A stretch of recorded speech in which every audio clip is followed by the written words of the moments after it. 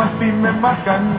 मिलजुल के करते हैं काम खत्म